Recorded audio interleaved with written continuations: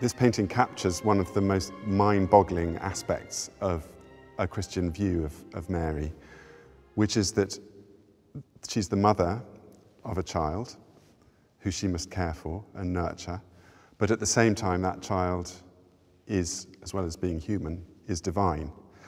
And that Christian belief in the two natures of Christ, human and divine, means that she is also a creature of her child, someone created by the God who she now has given birth to. It is mind boggling. And so she's, in a sense, also the child's worshipper as well as its mother.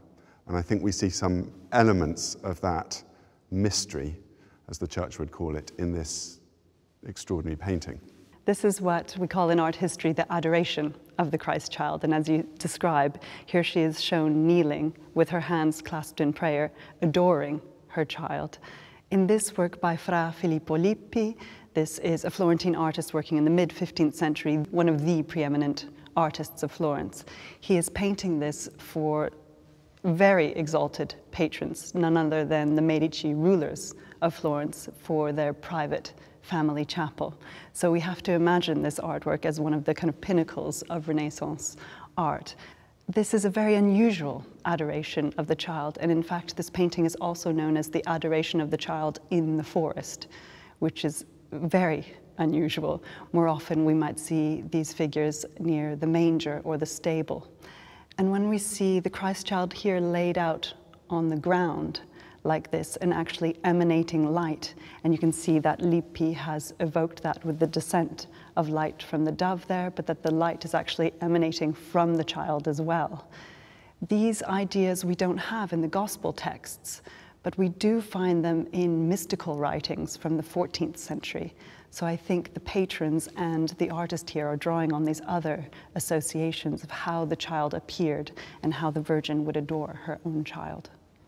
And the divinity of the child is especially accentuated, isn't it, by this vertical line that connects him to the dove, which represents God the Holy Spirit, mm-hmm.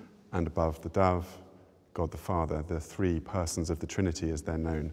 Um, so that sense of the divine presence is especially intense here. Her devotion is interestingly picked up by that figure in the left-hand background. Yes, there's a friar. that is St. Bernard of Clairvaux in the distance there. So he's a Cistercian, which was a particularly strict form of the Benedictine order.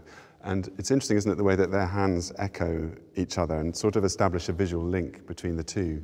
One of the things prized by the Cistercian order and most of the religious orders of the West was celibacy, and they associated with the Virgin's virginity uh, as a model, if you like, for their own, own lives. And it was a widespread belief in the church that it wasn't only that Mary conceived while a virgin, but that she remained a virgin throughout her life. In that sense, almost a model for lifelong vows of celibacy, of the kind that St. Bernard himself would have taken these vows that you've just described in terms of uh, St. Bernard of Clairvaux were also taken up by this painter, Fra Filippo Lippi, the fra in front of his name referring to his title as frate or friar. So he also belonged to a religious order.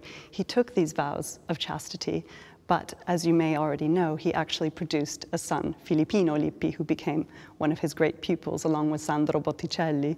So as we do know, some of these vows were not always followed through. I guess he, he didn't succeed where Bernard and Mary did. Exactly. What we're missing from the context of this altarpiece is actually it was situated, as I mentioned, in a private family chapel, something the Medici had to secure the Pope's permission for. So this was an exceptional commission. And that chapel exists to this day in the family palace in Florence. And it's decorated with a series of frescoes by Benozzo Gozzoli representing the procession of the Magi. So if we reinsert this object visually into that context, we might imagine that we are in the company of the procession of the Magi, converging on this altarpiece, really taking up the position that Bernard of Clairvaux has, that we have the young St. John the Baptist here also inclining himself towards the Christ child, the way the Virgin is also kneeling with her hands in a gesture of prayer. I think they are providing models for us in front of this altarpiece. That is the behavior we are meant to imitate in front of this artwork. We join in with that worship. If you think of the shafts of light with that responsive answering puff of light, as almost like a connection, almost an umbilical cord between this child and heaven. There's also a wonderful sense, an intimate sense of his continuing connection with his mother, even though she's separated herself from him in laying him down, because her veil spills out and becomes his gauzy covering.